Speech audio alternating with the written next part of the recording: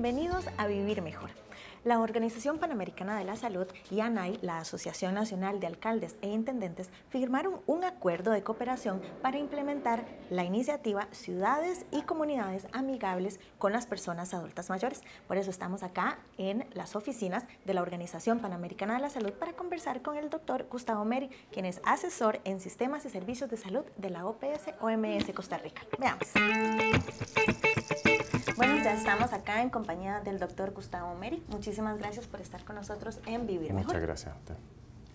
Eh, doctor, eh, coméntenos por favor un poco acerca de este, de este proyecto que, que tiene la OPS em, para conformar esta red de ciudades eh, amigables. La iniciativa de Ciudades y Comunidades Amigables con el Adulto Mayor em, nace en la Organización Mundial de la Salud como una em, iniciativa para eh, incentivar ciudades a trabajar juntas, a, compartir experiencias, eh, a, aprender de las experiencias eh, que ellos han tenido, de manera de desarrollar entornos adaptados a las personas mayores, a la necesidad de las personas mayores y que mm, ayudan a las personas a envejecer en forma saludable. en el fondo, el, requisito es, es, tener una comunidad, una ciudad que está comprometida con con la salud y el bienestar de, sus adultos mayores. Em, y, em, o sea, en el fondo, el, programa que se implementa, las iniciativas que se implementan son de, a nivel local. ¿no? Eh, no hay en el fondo una estructura, un requisito de cómo trabajarlo, sino que localmente adaptado a las necesidades y a los contextos específicos de las ciudades se desarrolla un compromiso de trabajar por el adulto mayor y se comparten experiencias y se eh, enriquece eh, el, intercambio de, mm, de, iniciativas, de éxitos, de, em, soluciones. de soluciones para las poblaciones eh, en las ciudades que quieren trabajar de esta forma. Ha tenido una, una gran recepción a, a, nivel mundial. Ah, entiendo que se da ya en diferentes países. Y claro, claro. Países de todo el mundo, diferentes niveles de, de desarrollo, diferentes niveles económicos, pero con, que presentan diferentes desafíos, pero que en el fondo comparten ese, ese deseo común de trabajar por eh, ciudades que son más inclusivas en general de su población. O sea, se habla de, em, de personas mayores, pero también con, desde el punto de vista del enfoque del curso de vida. El, ¿Y eso qué significa? Digamos? Significa que uno no, uno no envejece a los 65 años. ¿no? Eh, uno envejece a lo largo de la vida. es un proceso. Eh, claro, ¿no? Entonces, la forma como uno, uno vive eh, la juventud va a determinar el tipo de vejez que uno va a tener. Hemos avanzado importantemente en el mundo en términos de la, de la longevidad. Estamos viviendo mucho más años gracias a los avances en, en medicina, los avances en general en el desarrollo social, eh, pero no necesariamente estamos viviendo más saludables, más sanos. Hay, hay, muchas personas con enfermedad que viven con discapacidad eh, en, en, diferentes periodos de la vida, pero sobre todo en la adultez y, y, muy temprano dentro de, de, de la vida adulta. La idea es que las ciudades amigables con el adulto mayor se comprometan a trabajar en el envejecimiento saludable, eh, en que la gente eh, tenga una vida eh, lo más alejada posible de los factores de riesgo que determinan que cuando llegan a adultos tengan grados importantes de discapacidad y de enfermedad y de, manera que puedan vivir una adultez, una adultez mayor saludable. A la vez, la ciudad responde, se adapta a los diferentes grados de discapacidad. No solo los adultos mayores tienen discapacidad, ya hay adultos mayores que tienen grados de, eh, de autonomía y de funcionamiento muy altos. ¿no? Em, entonces, más que fijarse en la edad del ciudadano, ¿no? el del miembro de esa comunidad, es fijarse en la, en la diversidad de capacidades, eh, tanto físicas como mentales, como sociales, de manera de tener ambientes que son adaptados a las diferencias que hay en esa población. Ok, ahorita, bueno, más adelante me gustaría conversar un poquito más, digamos, tal vez de esas posibles estrategias, digamos, de cambios que, que, se puedan hacer. Sí quería eh, preguntarle antes, tal vez, digamos, em, ¿Cómo, se relaciona esto en este momento con la Estrategia Nacional de Salud? Bueno, la, Estrategia eh, Nacional de Envejecimiento Saludable eh, en el curso de vida recoge ese, ese, mismo, digamos, eh, principio de, de, trabajar por, una, por un envejecimiento saludable, de manera de tener adultos mayores saludables, a la vez de que, que podamos ser, seamos capaces de adaptar los servicios de salud, pero también los servicios comunitarios eh, y las ciudades, los entornos, para que se adapten de manera adecuada a las necesidades eh, particulares de los adultos mayores, en términos de seguridad, en términos de inclusión. Eh, es muy es importante, yo creo, señalar que a veces se tiende a pensar que el adulto mayor es una persona con necesidades muy básicas. Eh, con necesidades de alimentación, de transporte limitado, de cuidados básicos, de cuidados de salud. Pero, pero no es así, los adultos mayores tienen necesidades muy similares al resto de la población en términos de sociabilización, de desarrollo personal, eh, de, aprendizaje, de, aporte a la comunidad. ¿no? La, la, recreación es importante, ¿no? pero también es importante el aporte que ellos realizan a su comunidad, a sus familias, ¿no? y darles espacios para que puedan aportar desde su experiencia, pero también desde, desde, digamos, la capacidad que ellos tienen, que es muy importante. El aporte que ellos pueden hacer a las comunidades, eh, el desarrollo personal, el aprendizaje, en etapas avanzadas de la vida. Son claves. Vamos a hacer una pequeña pausa en nuestra conversación. Vamos a seguir conversando en, en, nuestro siguiente segmento. A todos los que nos ven y nos escuchan en casa, los invitamos a que continúen con más de Vivir Mejor. Ya regresamos.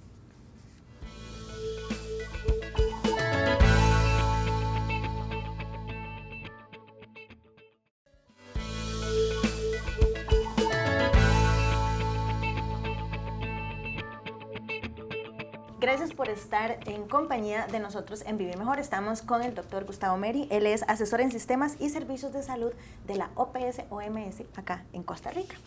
Eh, doctor, me gustaría preguntarle, que hablemos un poquito ahora de este convenio que se firmó este, entre justamente, bueno, la, la, OPS y ANAI, que es este, la Asociación Nacional de Alcaldes e Intendentes, justamente en el marco de, este, de esta iniciativa de, de ciudades amigables con las personas adultas. Sí, uh, bueno, la verdad estamos muy entusiasmados con la firma de, ese convenio. Uh, es, um, es, algo que um, es relativamente inédito y por lo tanto creo que es muy positivo. Sobre todo el compromiso de, um, de, de, las comunidades, las municipalidades, eh, en, en, trabajar por, eh, por tener entornos adaptados al adulto mayor. Eh, o sea, había mucho interés, muy buena recepción de, esta iniciativa y esto deriva en que se firme un compromiso de trabajo eh, para poder extender eh, el apoyo que OPS y AMS está dando a las ciudades para que logren la adaptación a las personas mayores. Más que el hecho de tener una certificación, que en el fondo la certificación significa un compromiso, ah, hay que plasmar ese compromiso de, la ciudad, de, de la comunidad, de avanzar en ese sentido. Y por lo tanto es importante tener un acompañamiento eh, a ellos para que puedan plasmar eso en, iniciativas que realmente mejoren las condiciones de vida de la población en general y en particular de los adultos mayores. Y, y también forma de evaluar, de saber qué está funcionando, qué no está funcionando, qué hay que readecuar y qué es lo que además vale la pena difundir para que otros puedan eh, ocupar esa eh, esas experiencias exitosas en sus comunidades y en su experiencia local. Y, y, digamos, ¿y por qué hacer, digamos, este convenio específicamente como con las, con las municipalidades o con este grupo de...? Bueno, el, las municipalidades yo creo que juegan un rol clave ahí, ¿no? Em, y, em, y, además que se, se, se escapa un poco del, del, ámbito tradicional de lo que nosotros consideramos salud. ¿no? Tendemos a pensar que en salud como la consulta del médico, como el hospital, ¿no? Y, hace mucho tiempo que nos hemos dado cuenta que eso es una visión muy limitada para garantizar la, salud de la población. el entorno donde la persona vive eh, es clave para determinar la salud. Y también es importante señalar que hay una diferencia entre el concepto de salud y el concepto de enfermedad. La salud no es solo el tratar la enfermedad. La salud es la, falta de enfermedad y por lo tanto tenemos que trabajar los elementos que mantienen a las personas sanas de manera de cuidar la salud, además de recuperar la salud cuando está, se, se ve afectada. Entonces es clave trabajar con sectores más allá del sector salud, sobre todo en temas de este tipo. La misma estrategia eh, de envejecimiento saludable que mencionábamos anteriormente, em, como decía en el segundo eje, trabajo con las comunidades, se, se, trata de desarrollar entornos saludables para un envejecimiento saludable. Y ahí específicamente, de hecho, se habla de tratar de avanzar en, en iniciativas como ciudades eh, y comunidades amigables, de manera de que los entornos propicien ese envejecimiento saludable. Me imagino que también son, a ver, aprovechar el contacto que tienen las municipalidades con los ciudadanos, ¿verdad? Es también, eh, por ejemplo, clave para conocer cuáles son las necesidades en, en, el área, de, digamos, en la parte de, digamos, de salud y bienestar para justamente trabajar eso y ir modificando lo que sea necesario para poder tener esas ciudades amigables. Claro, eh, es, clave trabajar lo más cercano posible a la comunidad para entender a la comunidad y también para estar seguros de que lo que estamos entregando está afectando a las comunidades de forma positiva. O sea, ese es un elemento clave, la cercanía que la municipalidad tiene con la comunidad. Y el otro lado es el conocimiento, o sea, por otro, lado es el conocimiento del el contexto local. Y el tercero es el hecho que ellos trabajan no solamente salud. La municipalidad también trabaja enfermedad, trabaja servicios sociales, trabaja seguridad, trabaja transporte, clave en el tema de, adulto mayor, ¿no? Eh, la seguridad también. Em, entonces, todo este tipo de, iniciativas son importantes para el envejecimiento saludable. Entonces, si trabajamos con las comunidades, podemos abarcar mucho más aspectos para trabajar intersectorialmente, palabra muy utilizada, pero que en general tenemos mucha dificultad para trabajarla. Creemos que trabajar con las municipalidades eh, nos puede ayudar mucho a avanzar y a aprender a cómo avanzar iniciativas multisectoriales que puedan eh, aportar en una forma más eh, integral la necesidad de, la población y en particular de la población adulta mayor. En este caso se estaría tal vez trabajando más que todo con, por decirlo así, con, con el sector público. ¿Verdad? Si son municipalidades, todas son cosas que se puedan hacer a partir del trabajo de las municipalidades y, me imagino como con, bueno, dependiendo de las necesidades o las soluciones, ¿verdad? En conjunto con el gobierno, qué sé yo, ¿verdad? Ojalá que puedan participar, el, que se involucre también el sector privado en, eso mismo, algunas cosas. Ya, yo veía que me quería decir eso y por supuesto estamos eh, absolutamente de acuerdo en eso. O sea, no, no creo que, o sea, el trabajo con la municipalidad y con el sector público en general es clave, ¿no? es esencial y desde ahí es donde se trabaja, pero eso desde ahí es donde se trabaja. ¿no? Eh, los ciudadanos son privados, las organizaciones en las comunidades muchas son privadas y, por supuesto hay un llamado eh, inclusivo a que todos participen de alguna forma ¿no? y el sector privado es clave, es clave en ese sentido. También. Ok, bueno, vamos a hacer otra pausa en nuestra conversación, vamos a hablar un poquito más en el siguiente segmento. Los invitamos a todos a que continúen con este tema eh, interesante acerca de este, este trabajo que está haciendo la OPS con las municipalidades en las comunidades de nuestro país. Nosotros quisimos abarcar más municipalidades en este, en este país para poder lograr eh, tanto generar mayor estadística a nivel latinoamericano, como poder impulsar proyectos que beneficien tanto a las personas adultas mayores como a otros sectores de la población, por ejemplo, las personas que tienen discapacidad que también pueden beneficiar de estos proyectos, o bien también a la misma comunidad como tal. Entonces, desde la Asociación Nacional de Alcaldías e Intendencias, nosotros nos involucramos y ya hemos estado con más de 10 municipalidades. Los proyectos son varios, por ejemplo, tenemos desde el sector de cultural, de educación, tecnología, infraestructura, que es lo que más se usa a nivel de este proyecto, entonces son muchos eh, los beneficios que pueden tener las comunidades si su cantón tiene este certificado. Por ejemplo, en Curridabat tienen este, un geolocalizador. ¿Esto qué quiere decir? Que si usted en su casa tiene alguna persona mayor, entonces la municipalidad lo reconoce y e, indica el número de teléfono, qué enfermedad tiene, qué pastillas usa, cuál es la persona que lo cuida Si una municipalidad arregla alguna acera o alguna calle, no solamente la persona adulta mayor eh, va a tener ese beneficio de pasar por ahí, sino todos nosotros. Y ahí dependerá de lo que la municipalidad y lo que la comunidad quiera. Por ejemplo, eh, hablábamos del caso de Curriabat, pero tenemos otros casos en Dota que se enfocan mucho en la parte de talleres y en la parte cultural. Entonces ellos en su parte de adultos mayores se enfocan mucho en este aspecto.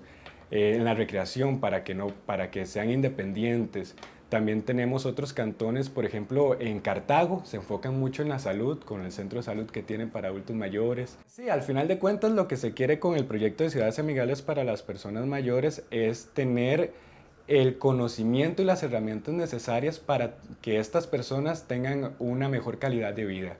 Eh, aparte de eso, mezclar y unir a las generaciones, porque no solo los talleres son para adultos mayores, sino los adultos mayores pueden impartir los talleres para personas jóvenes. Abre un espacio de diálogo, un espacio de entendimiento donde se puede dar eh, mejores alianzas entre municipalidades de otros países. En la página de la OMS hay la sección de ciudades amigables y ahí están todas las municipalidades de todos los países que están incluidos. Yo como municipalidad o como comunidad puedo meterme, ver cuáles son los proyectos que tienen otros países e implementarlos aquí, tropicalizarlos. Entonces ese es uno de los beneficios que tiene esta iniciativa y yo creo que es muy importante para que otras municipalidades se unan y puedan tener eh, este certificado.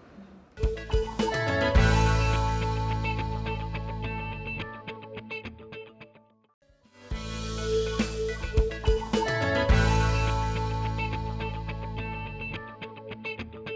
Gracias por continuar en compañía de Vivir Mejor. Estamos conversando acerca del convenio que se firmó entre la Organización Panamericana de la Salud, OMS, también Costa Rica, y este, la Asociación de Municipalidades y Alcaldías con respecto a las ciudades eh, amigables para los adultos mayores. Y justamente, doctor, quería preguntarle, ¿cómo, cómo nos podemos imaginar entonces una ciudad amigable en, en el futuro o qué, qué, qué aspectos podríamos ir cambiando en nuestras comunidades actuales o en nuestras dinámicas actuales en las comunidades para que vayan siendo un poquito más amigables eh, con las personas adultas. Bueno, em, yo diría que, que es importante em, señalar que lo, lo, más fundamental, digamos, en una iniciativa como Ciudades Amigables es escuchar a las personas, a las comunidades, ¿no? Más que ser prescriptivo. Más que decirle una ciudad amigable es de esta forma, es ser un poco más eh, abierto y preguntarle a la gente cómo imagina usted una ciudad en la cual se siente más cómodo.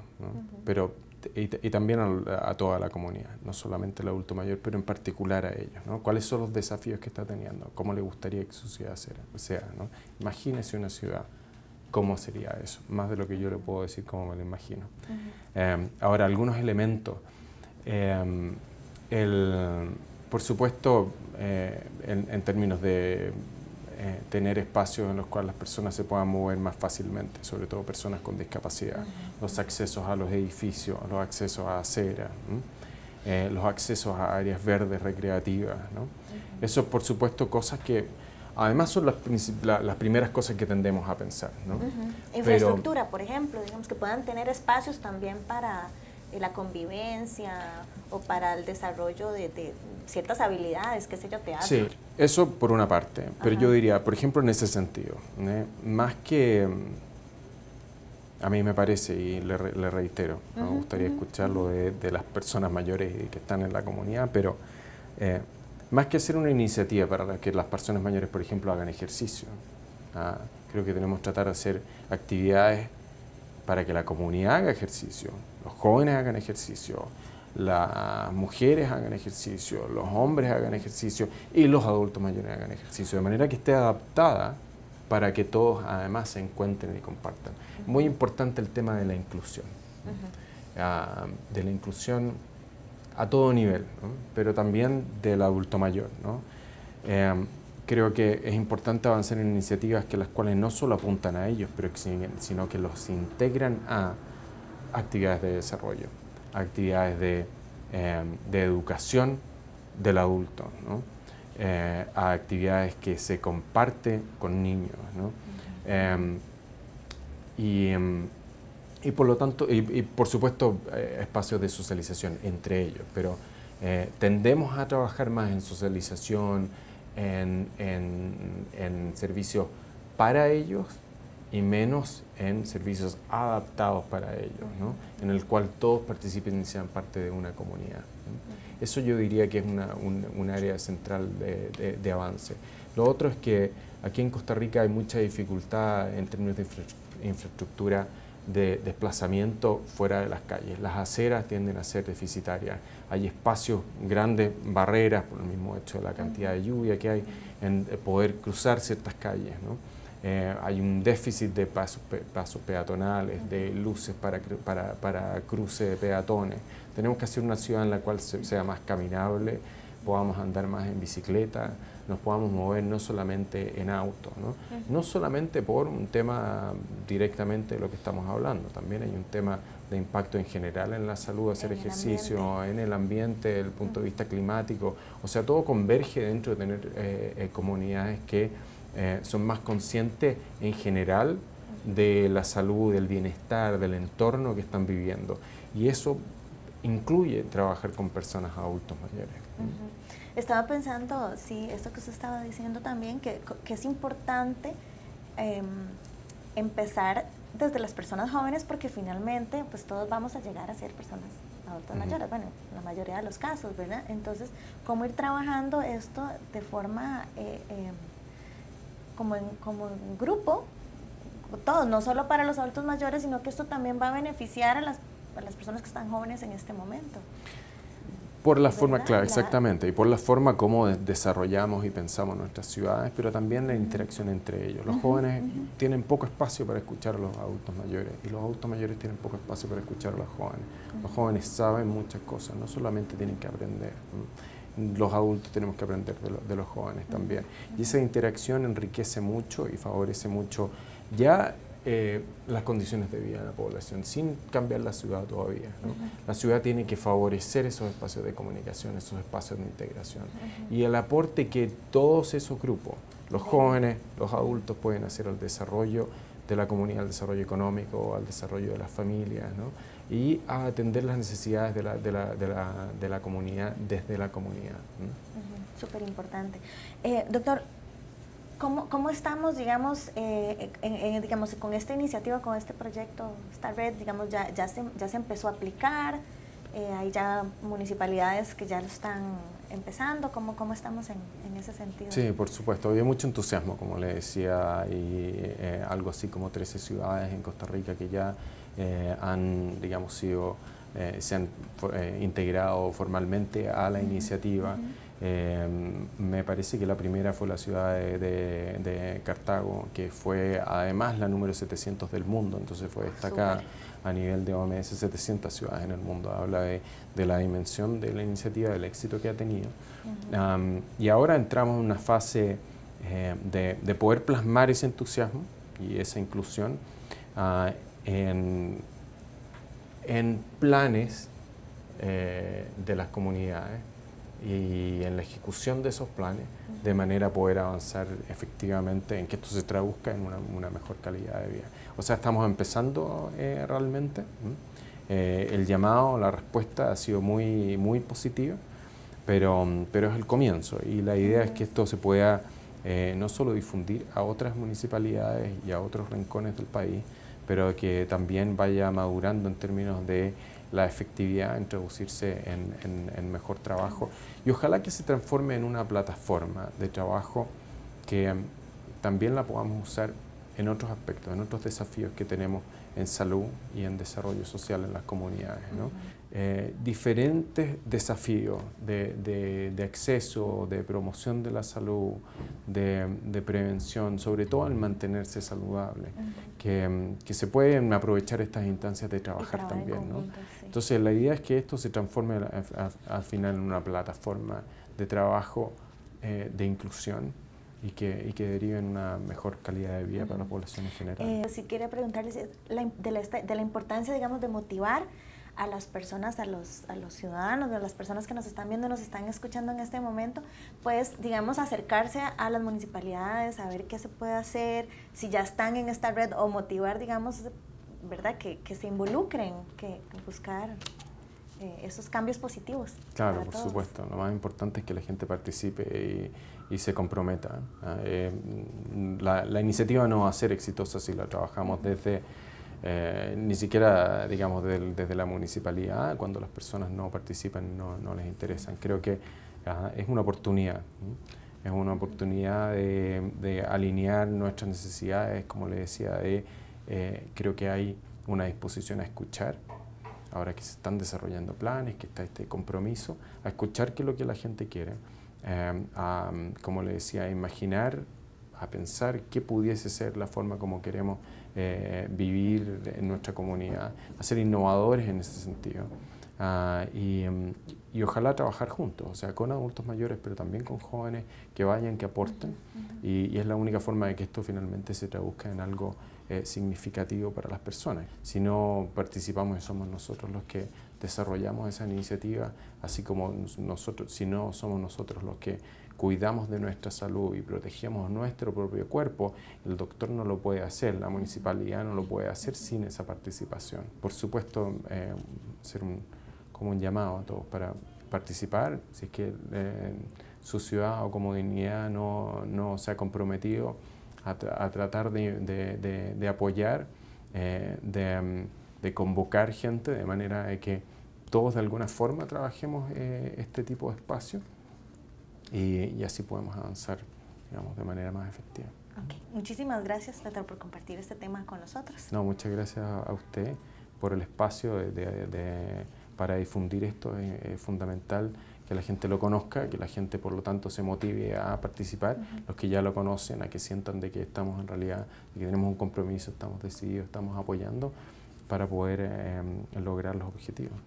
Muchas, gracias. Acá terminamos la entrevista del día de hoy. Nuestra recomendación es que puedan organizarse en comunidad o con la municipalidad para que puedan lograr comunidades amigables, no solo para las personas adultas mayores, sino para todos. Les invito también a que puedan sintonizar nuestro programa en radio Amigo Saber Vivir. Ellos están en Radio 870 UCR y que nos sigan viendo a nosotros en Vivir Mejor todos los miércoles a las 7 de la noche y los domingos a las 2 de la tarde. Hasta luego.